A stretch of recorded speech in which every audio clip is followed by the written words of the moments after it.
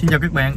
Hiện tại thì đội khảo sát của công ty cổ phần kiến trúc Kisato à, thì đang trên đường đến à, thị xã Phú Mỹ.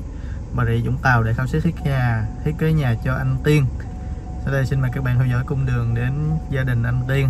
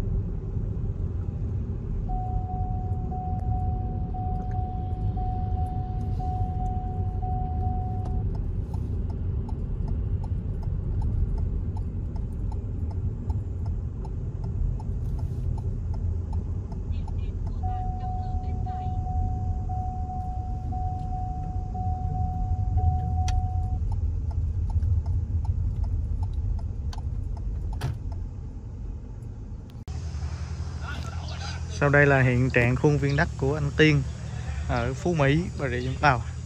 Đây à, đây là đường đường đi à, vào khuôn viên đất. Đây trước khuôn đường ở trước à, bên trước đất là có trụ điện.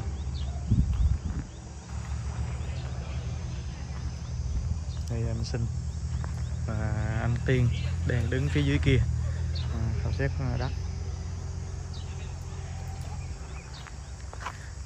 Đất của anh Tiên thì hiện tại đang trồng à, à, cam. Sau này sẽ phá giờ phá bỏ rừng cam này đi. Xây nhà trên khu đất này. À, xin mời các bạn theo dõi tiếp theo uh, tiếp khảo sát qua lại cam để hiểu rõ nguyên đất này hơn.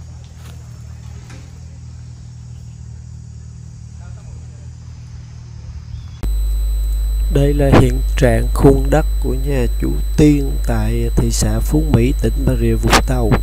Thì về hiện tại thì khuôn đất của chú thì à, toàn bộ trên nền đất trống, đang trồng cây. Khuôn đất à, rất là rộng, có chiều à, rộng khuôn đất là 26 m, chiều dài. Đây là tổng thể khuôn đất rất là rộng. Mà vị trí xây dựng ngôi nhà sau này thì chú chỉ uh, dự tính là xây trong khu vực uh, phạm vi này. Thì hiện tại khu đất này thì có chiều rộng khu đất là chiều sâu của khu đất là 26 mét.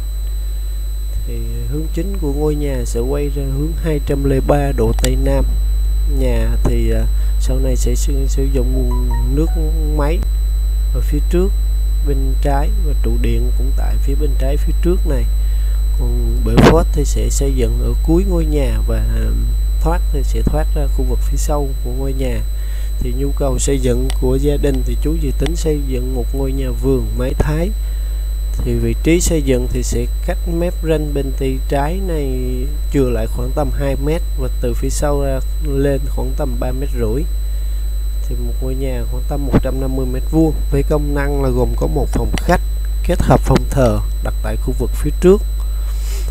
Tiếp đến thì sẽ là bốn phòng ngủ trong đó thì có một phòng ngủ master, vệ sinh khép kín. Ưu tiên phòng ngủ thì sẽ đặt ở cuối ngôi nhà góc phía bên này.